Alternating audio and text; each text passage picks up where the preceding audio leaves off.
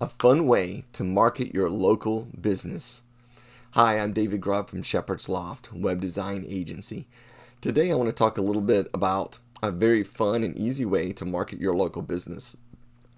Marketing can be very challenging for one reason. There's lots and lots of options out there. There's lots of social media platforms, you know, website, email marketing, and those are just the digital ones. Then you also have radio and TV and billboards and signs.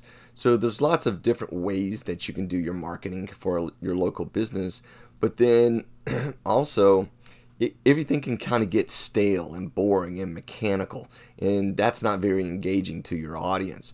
So, a simple and easy way, a fun way to market your business locally is to enter into a contest.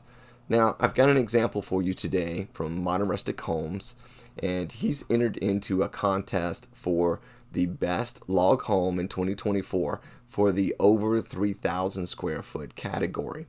This contest is being held by a magazine, Log Home Living by Log and Timber Home Living.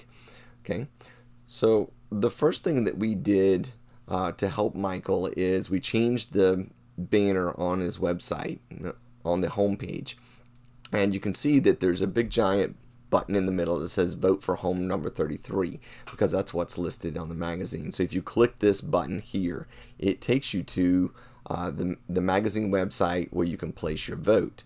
Okay, and when you first get there, the button is white, and if you click on it one time, it'll give you a pop up and will tell you that you have placed your vote. If you click it twice, it'll say it redacted your vote, which means it removed your vote and it no longer counts. So, again, to recap, so the first thing we did was update Michael's website, put the banner on there of the home that's in the contest with the button. Number two, we did a MailChimp email blast and put his logo on there. Very simple headline May I have your vote as the best log home in 2024. There's a picture of the home and some simple instructions. Click the link and place your vote. Uh, the third thing we did was helping with some social media uh, on his Facebook. We've scheduled some posts.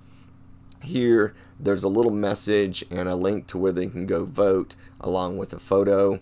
Uh, and then also on Instagram, uh, you can find you know a similar post there and link back to they all link back to uh, the magazine's website where people can place their vote.